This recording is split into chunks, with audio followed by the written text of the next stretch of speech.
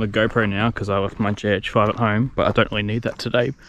Um, we're at Bunyip State Park again, and we're at the Labertouche Forest Road unloading area, and looks like everyone's gone home for the weekend. Absolutely nobody here. Got the bike unloaded, ready to go. I'll start warm, warming that up in a second, and then then we'll hit the trails. Should be good. It's a beautiful day, not too hot no wind or there's a little bit of breeze, but it's absolutely perfect. I couldn't have picked a better day. So let's not muck around. Let's go. Let's go.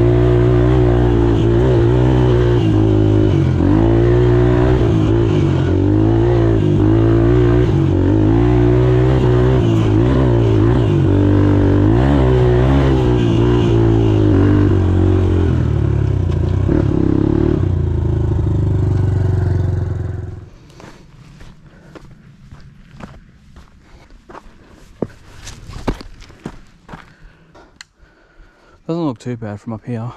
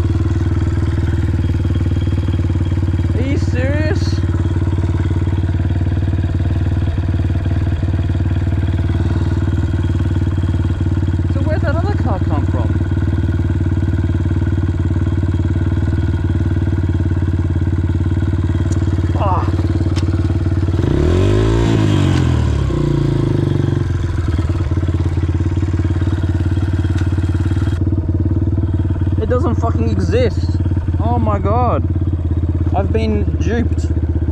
I've been bamboozled. Oh my god.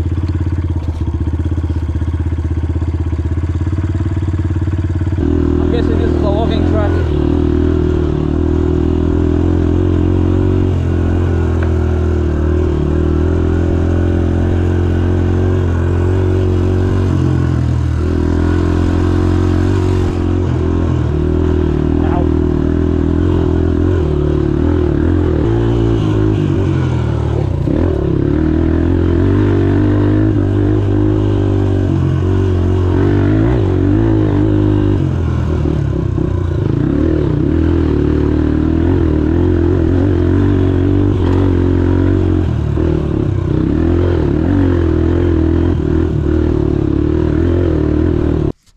Had to come from somewhere. Unless he's turned around. Worst comes to worst, I'm just gonna ride back all the way and then go on that tarmac road. I'm not going back up that fucking muddy road. Then what's this then? This is definitely the devolved road.